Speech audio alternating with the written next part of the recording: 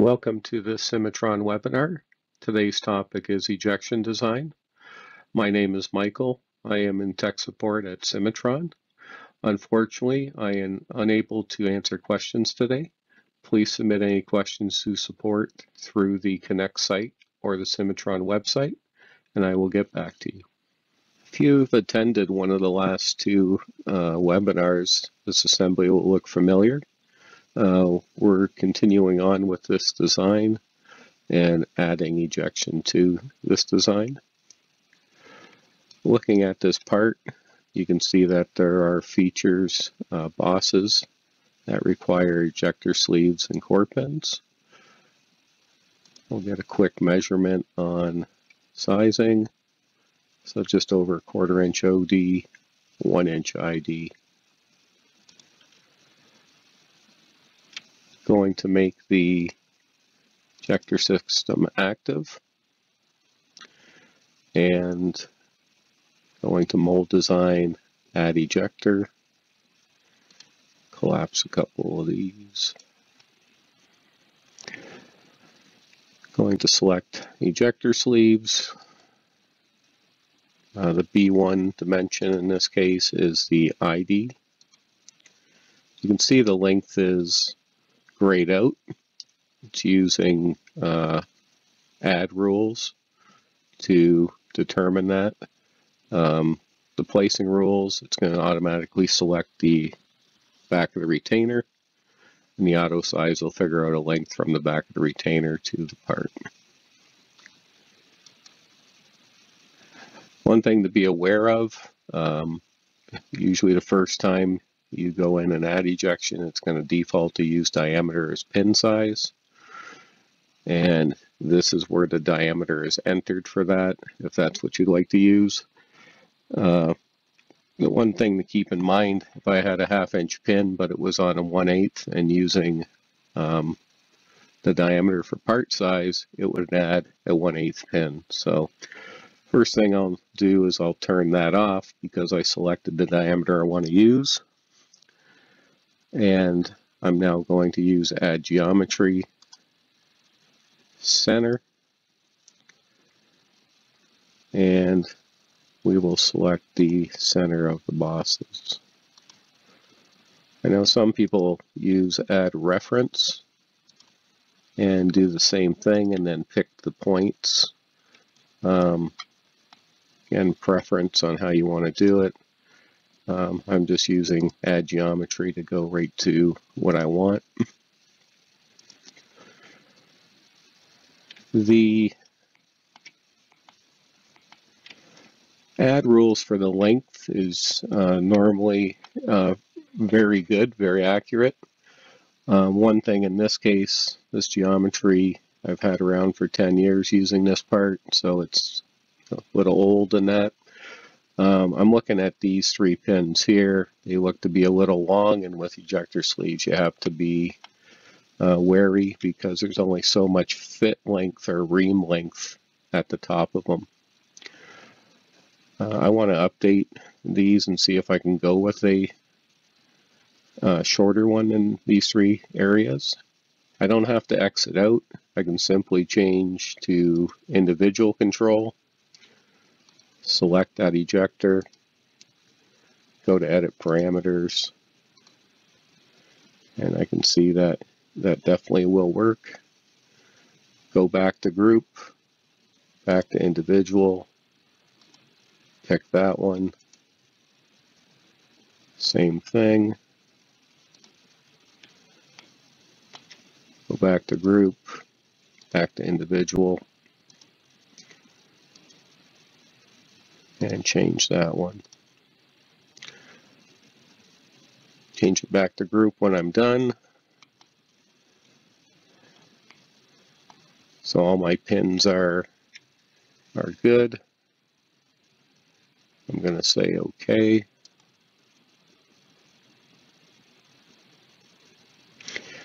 Next step I'm going to do is uh, trim them. So I'm going to go ejector trim, I like to go to a view where I can turn things on and off so I can easily select uh, all these pins. First method I'm going to try is the movable side. I'm going to say OK and for whatever reason it's not using the movable side, probably doesn't find active faces for whatever reason. So uh, more than likely because I didn't do cut active directly to the block. I did my cut active and my parting. It didn't create any commands. I'm free to go back to ejector trim, select my pins again, middle button. I'm going to tell it to do the work part. One other setting I want to do here is flat trim max. You can go min, mid, or max. Uh, for that, all my bosses are flat on the bottom. If we take a look, so you can see that they're all flat bottoms. So no real reason to put a shaped uh, trim on there. I'm going to say OK.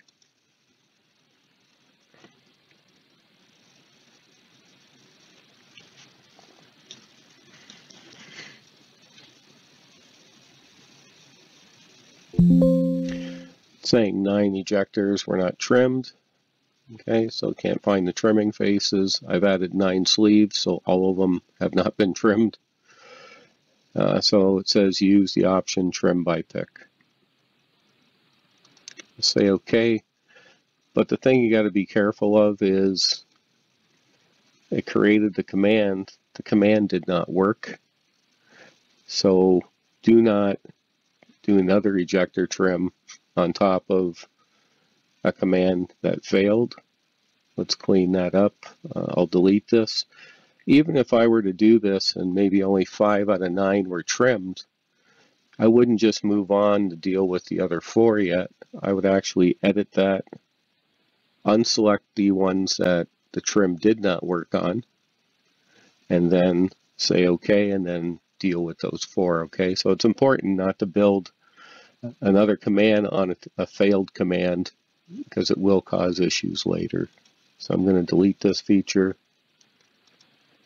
I don't want it hanging around. It didn't do anything. And let's go back to the ejector trim.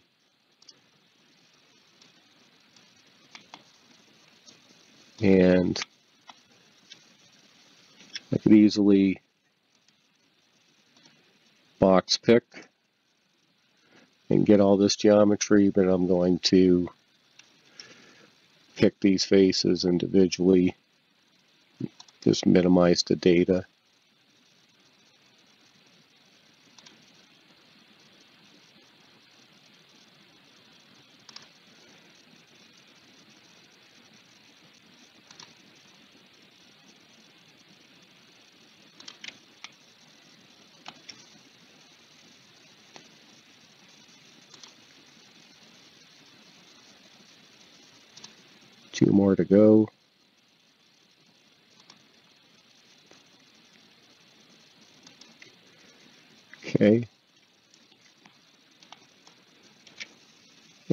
Say okay.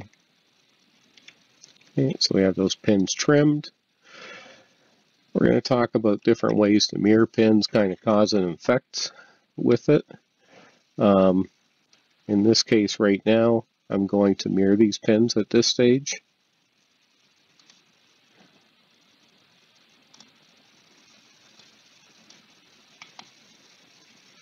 And pick the mirror plane.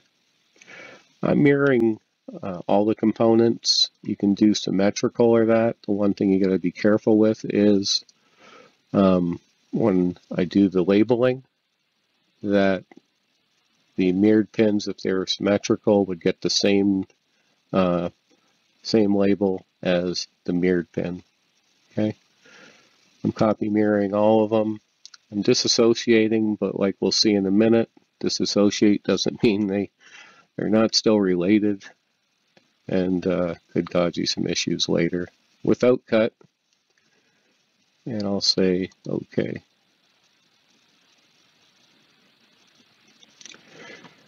Okay, now we're ready to do ejector pocket. And I'm going to go to a, a view to make it easy to select them.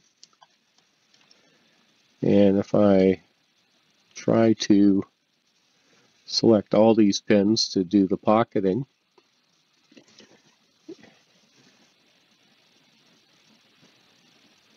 you'll notice that it's going to limit our options and that I can't change what I want to do.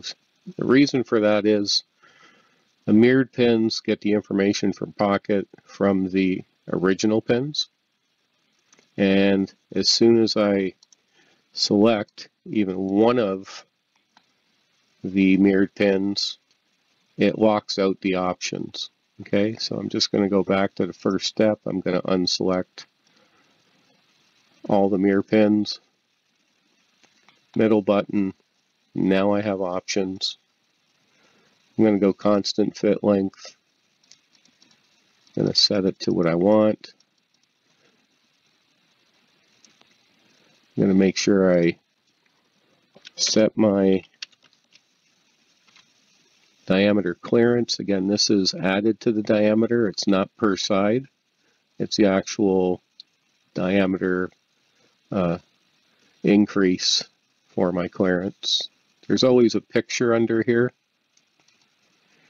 that'll let you uh, see what the variables or what the terminology is.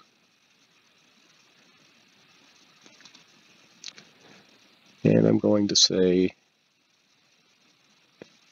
oh, now let's increase, look at this first. Everything looks good. We're going to say OK.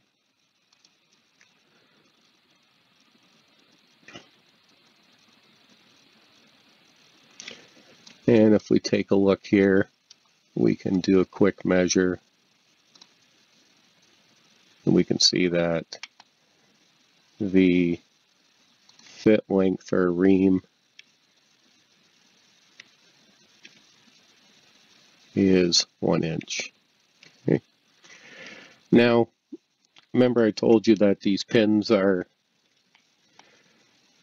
are re, are disassociated but still re related, you can see that after I did the pocketing on the original pins, an exclamation mark appeared on all the other pins, okay? And what that has to do with, if I activate one of these pins and I go to show, you can see that each pin or sleeve has a line and a point. And using ejector trim gives some attributes that lets it know where the top of the pin now is. When I did the pocket, it used that knowledge and we'll adjust the cutting object to suit.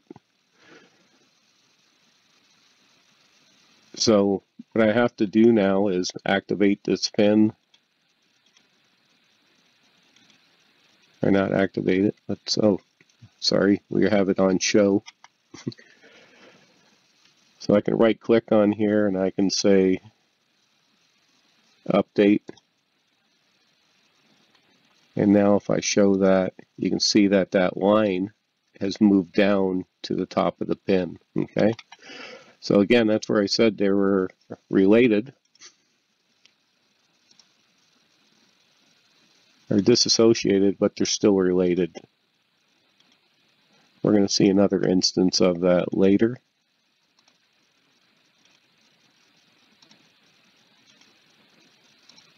And we're going to change the order of when I mirror the core pins and show you how that might be a little bit better option. Okay. Now they're all updated. Uh, I'm going to add a folder here just to clean this up.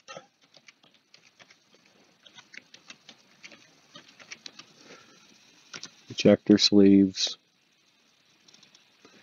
And then I can pick these guys and drag them into there.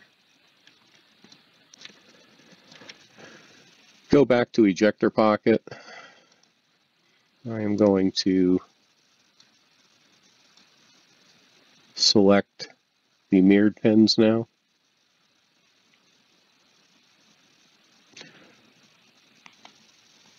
Again, no options because it's going to use the settings from the original ones and basically that's all what this is saying. And it's going to go through and now it's cut all the pins to the proper length. Okay. Next we're going to add uh, the core pins.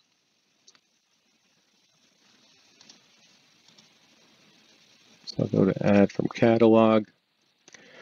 And just a quick little um, background here.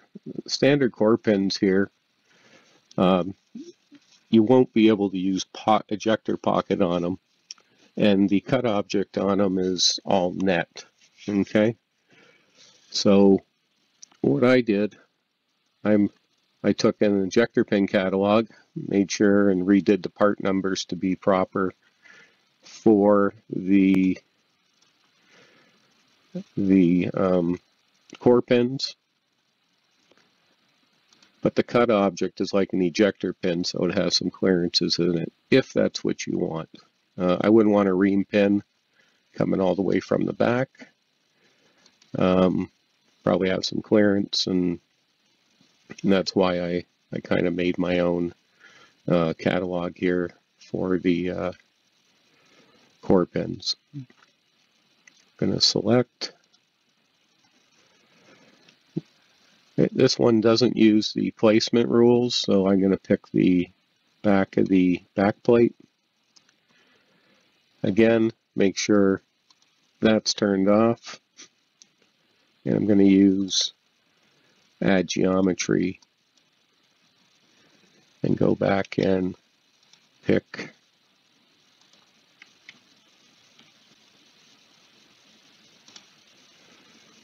uh, the bottom of the bosses here.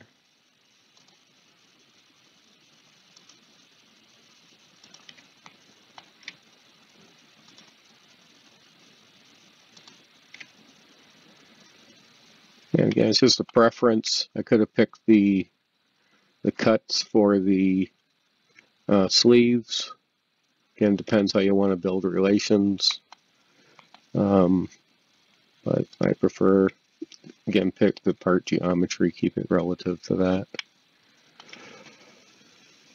I'm going to move these up as I'm going to add a backing plate later. And again, I want to keep it as different components. I want to keep it without cut.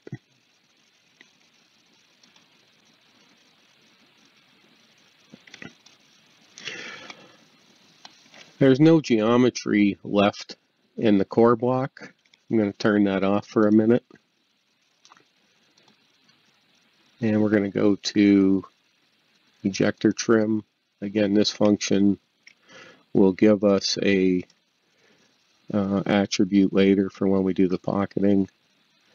I am going to select all the pins and I'm going to go to my parting assembly and I have my core parting lines. And I'm going to use the faces from this part to cut the core pins. Okay. Shape trim, no offset. turn off that part. I'm just going to pick the tops of these and give them my core part color.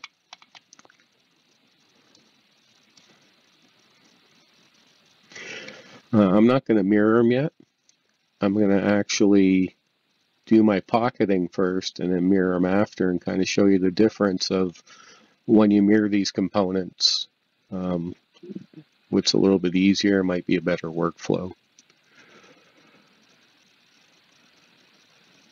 Turn the core back, core block back on. I'm going to go to mold design, ejector lock.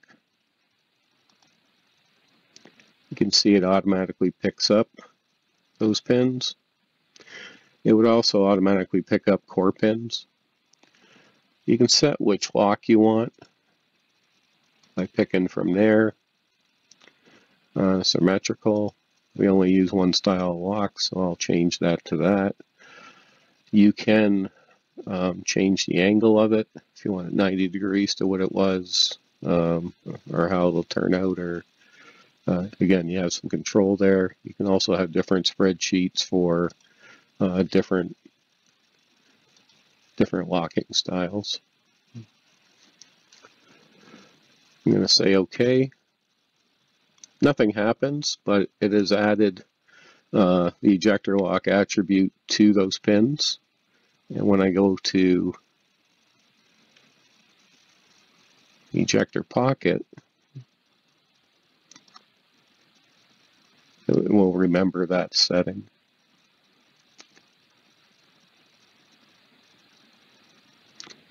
Middle button, again I'm going to change it to constant fit length.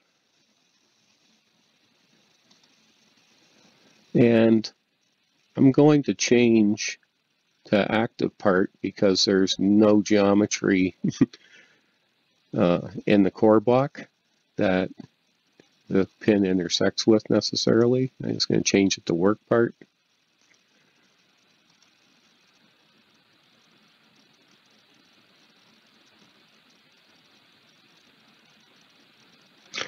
And you can see that it is place my clearance and that through.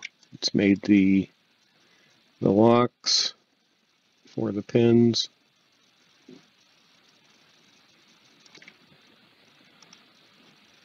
Okay. Now is the time I'm going to mirror these pins. So I am going to assembly, assembly mirror, I'm going to select those pins. I'm Going to pick the mirror plane, disassociated, copy mirror all the components, and without cut.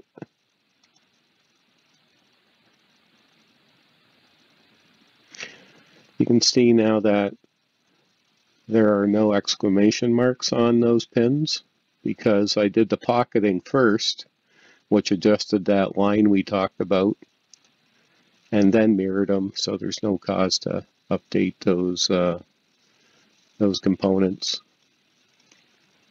Again, I'm going to go to ejector pocket.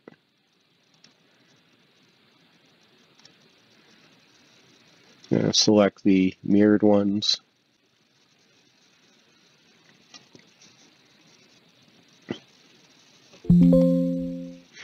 Again, it's going to use the attributes that were set with the originals. And I can say OK. Again, that's all this note's essentially saying, or this warning. Okay.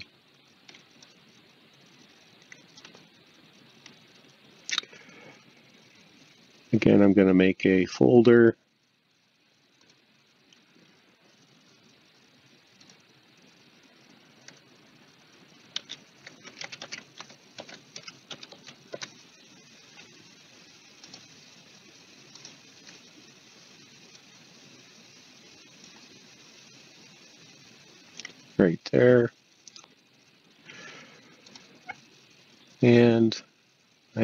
to add duplicate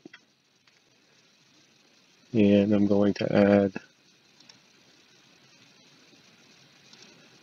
uh, a core pin plate assembly that I have. Pick the face, so the back of that. Again, we'll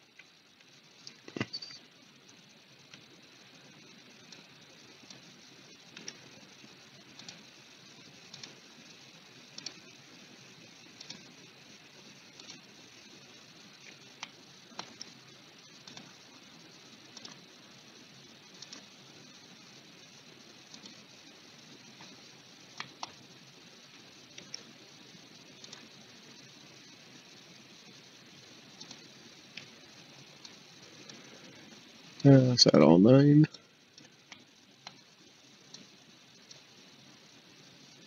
Looks like it. So we'll add them to this side.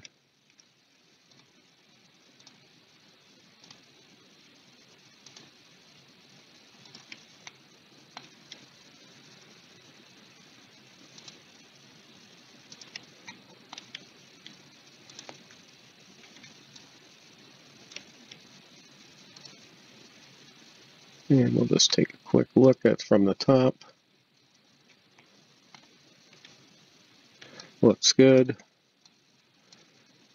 There they are.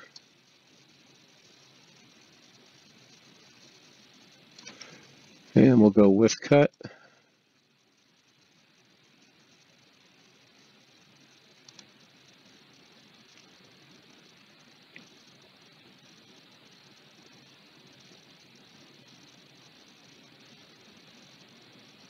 Okay.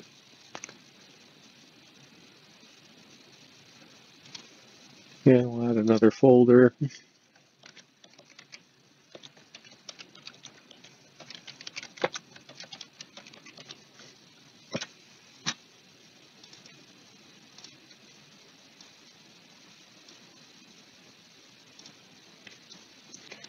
Yes, those are all set.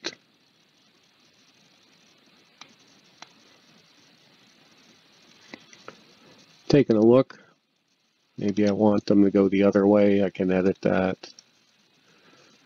Go to here, see.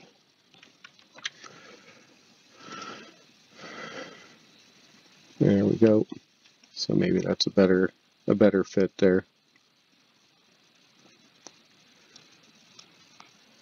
Okay. Next we can go and add some ejector pins. I'm going to make a ejector pin um, assembly active. Uh, one thing you have to watch is in the edit rules. Um, if I look at ejector sleeves, there's an auto auto enable or activation subassembly. A lot of times the subassembly, it's one of the three ejector system fixed or movable. And with that tagged, it'll automatically put it under that subassembly. If I look at my ejector pins, I have untagged that and that's why it'll allow me now to put the pins directly into a, subassembly.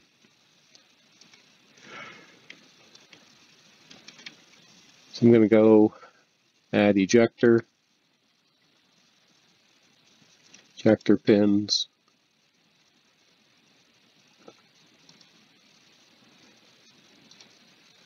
to pick the size I want, half inch. Again, the auto size with the length will be uh, used. Don't use uh, diameter as set. And, you know, again, it's matter on how you want to add these. Um, I am going to add some reference here. and try and keep them mostly in rows. So I'm just locking in a few reference points here that I can use as I place these guys in. Okay, so again, a third way to mirror components uh, when you're adding them I'm going to add a line of symmetry. Whoops. Let's try that again. Line of symmetry with one axis. and now I can add some pins here.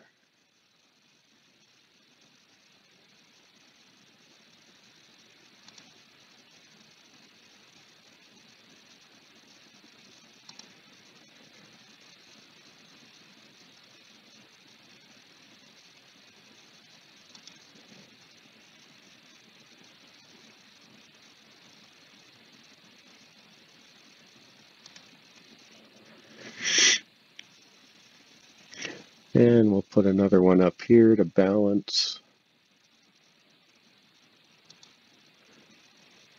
Okay. While I've been adding those pins on this side, they've automatically gone to this side. A couple things to be careful of. Um, if I'm referencing things like I have, don't use the snap on or off feature. I find that that can uh, give you some cyclic dependency later. Um, could give you again some some problems down the road. So I I really try to minimize the snap on snap off feature here. I'm going to give it some dimensions. So in this case,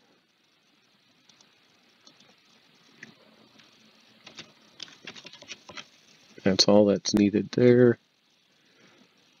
Uh, that one's good. This one here, need a dimension there.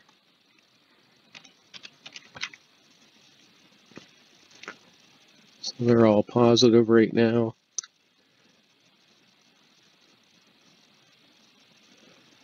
And what else? Uh, maybe I want this guy just a little further. There we go. Again, they're added as different without cut. I'm going to say OK.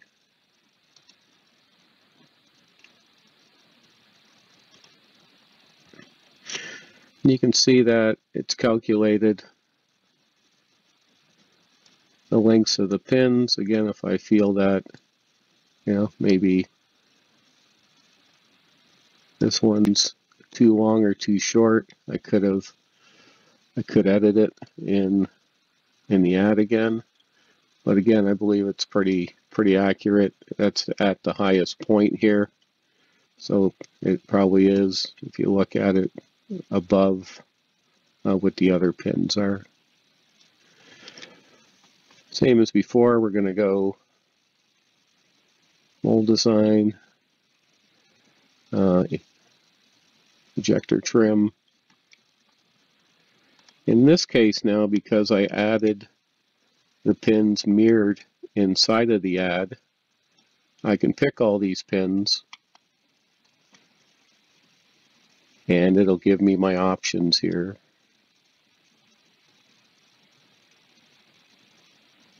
Or sorry, that's for pocket.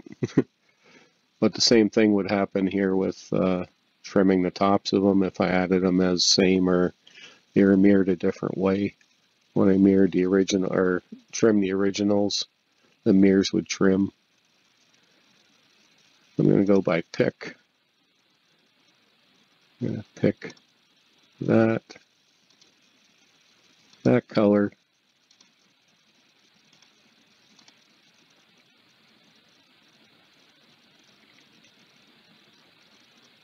Okay. I can now go ejector lock Again, it knows which ones. Again, want the oval lock. And then I can go back to ejector pocket.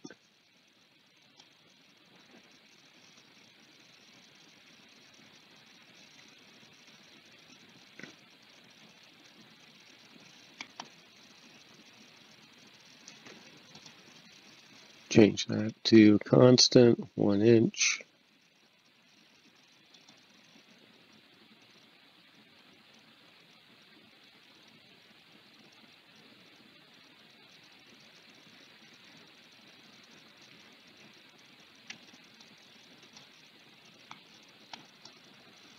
Okay, those are all done. Again, they're all in here. Again, I clean this up. I can go uh, add folder, half inch ejector pins.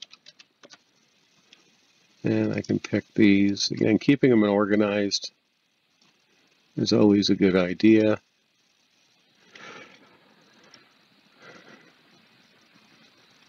Okay. From there I'm going to go add three pins for sucker pins. And go with 3 eighths because that's the size of the runner. And one thing here is uh, the auto length only works on like quick split or uh, part geometry. It won't work on parting line or uh, runner geometry. So I might as well take the auto size off. Pick the length I want.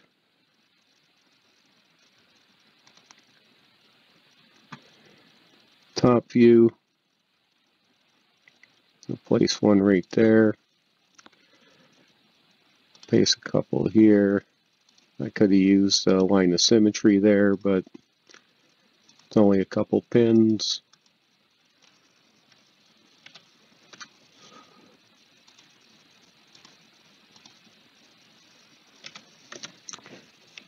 Again, without cut. Uh, 18s look a little long. Go to 14s. Yep, that'll work better. Say OK. Let's do uh,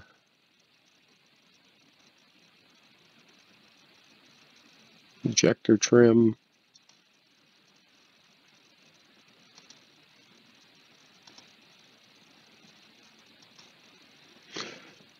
Actually, I'm going to do the one in the center first. I'll explain why in a second. Um, we're going to change this to pick. We're going to change this to flat and minimum. And we're going to pick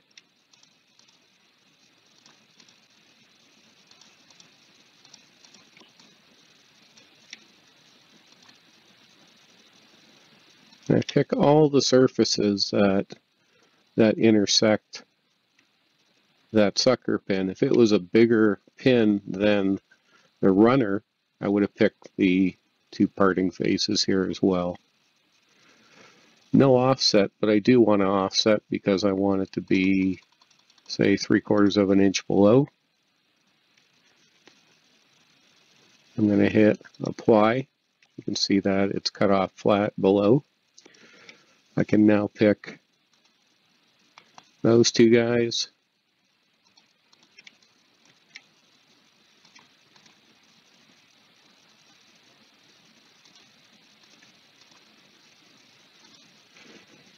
Those two, and let's get that last one.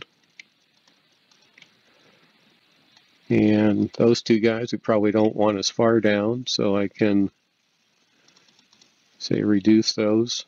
Again, flat minimum. Those guys are above.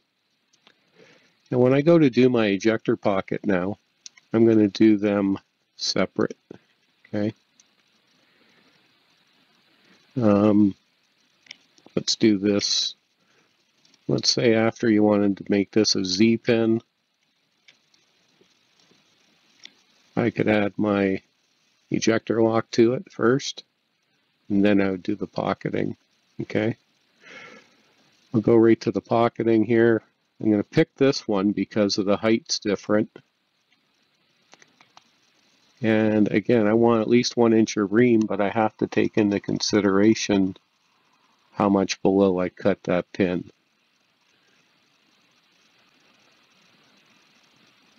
I can say apply. And now I can pick these two guys. Uh, those two are a little shallower. And again, I can Okay, so there you go. Those are all cut in, all the clearances. Again, could make a folder.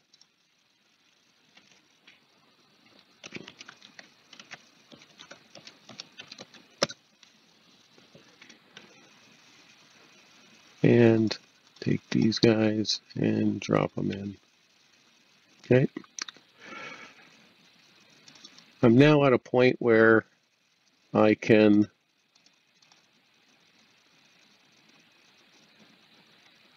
uh, label all these. Um, but the way I label things, I like to have control. In this case, I have my ejector pins. So I have them displayed. I will go to, and again, my ejector system is active. I'll go to table of ejectors. And for these pins, I'm going to go don't create. I'm going to go clear selection. And you'll see why in a second why I, I go this route. I picked my ejector pins and I can now give it a prefix for ejector pins. I can tell it to start at one, whatever font you like to use. The colors, so yellow's on the pins, uh, blue is on the uh, plates. You can select where you want them. So on the plate, what corner, what side, whether it's in the middle or on the edge. And I can say OK to that. And you can see that all the pins are, are labeled. I'm now going to turn off the ejector pins. I'm going to go with the ejector sleeves now. Same thing, table of ejectors. I am not creating the table. I don't need it yet. Not everything is labeled. Going to go to settings. We want that to be ES for ejector sleeves. I want it to start at 1 again. Maybe I want this not in the middle of the pin, maybe on a, you know, a side. And again, I'm going to clear selection just to make sure I'm only labeling what I want to label. And okay. And if we take a look now, you've got ES, ES. I could have changed the, the font size for the pin, but again, it's giving you the idea. I can now go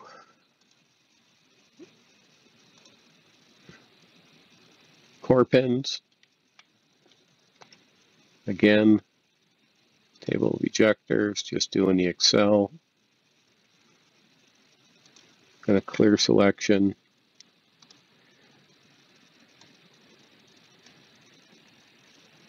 And go to settings. And we want CP for core pin. Okay, so that's good. Um, maybe go in the middle. Let's make that point one on the pin. Again, I'm going to go back to one.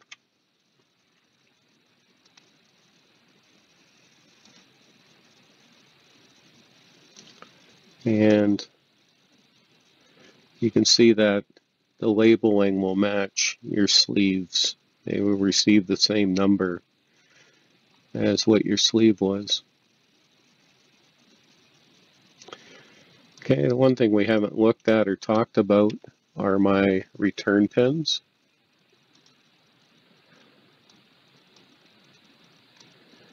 So a couple things here. Uh, I am going to change these. I'm going to upsize them.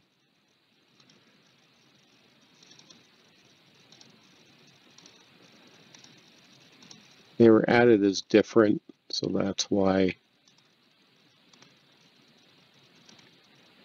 I'm having to update these individually.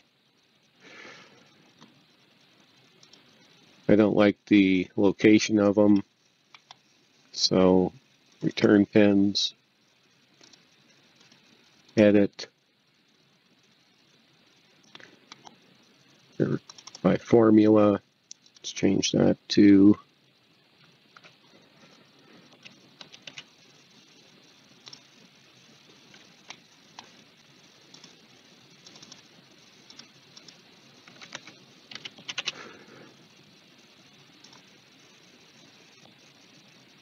that's all good. Okay, I'm going to use the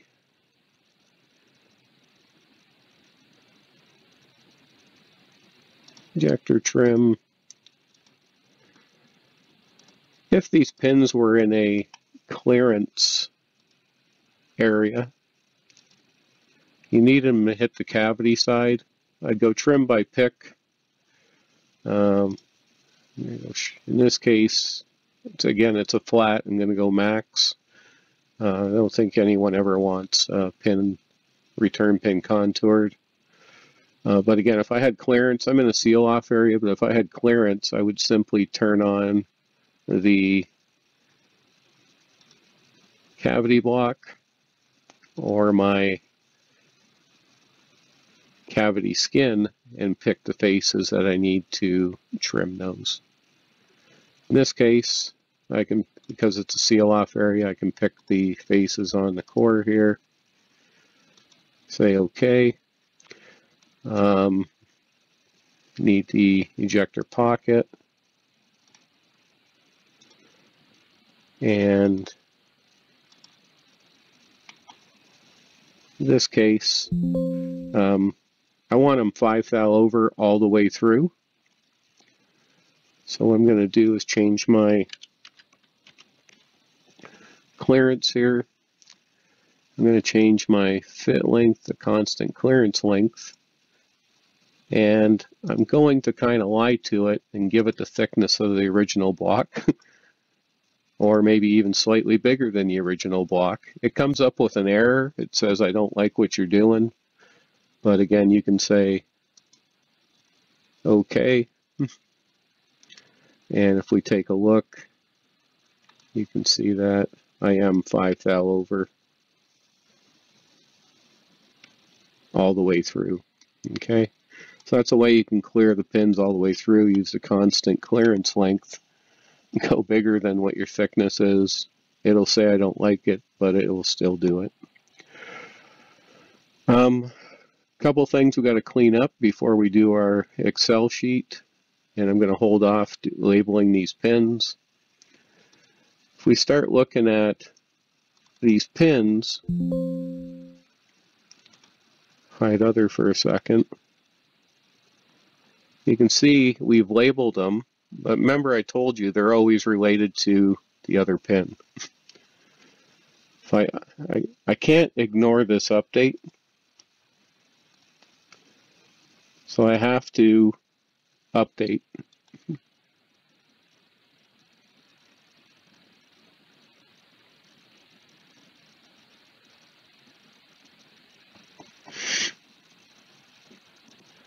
And now it comes up with another label here.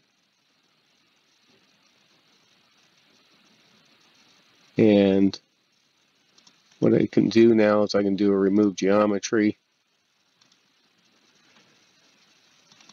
And I have to do that for each pin.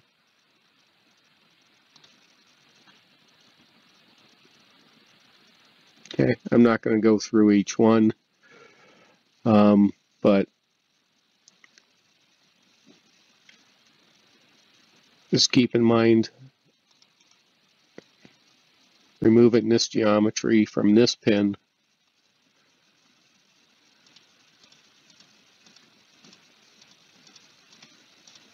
does not affect the geometry on this on these pins. Okay. So again, I'm not going to go through them all. Um, what it is is you're importing at this stage, and then you added your note down here, and that's why it does, one doesn't affect the other. Okay, so now we can turn on uh, these guys. And the last thing I'm going to do again with the ejector system active is I'm going to table of ejectors. Again, it's a control thing. I like don't like surprises. Pick what I want.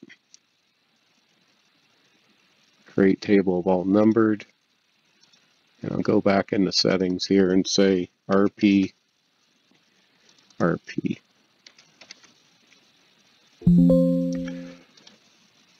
Point two, again, we're going to start at one.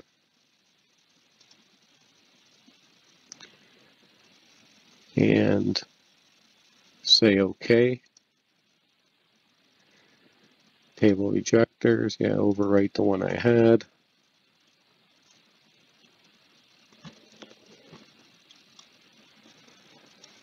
And you can see it goes through all the ones, all the twos. This is now a sheet like Excel where you can sort them if you wanted to.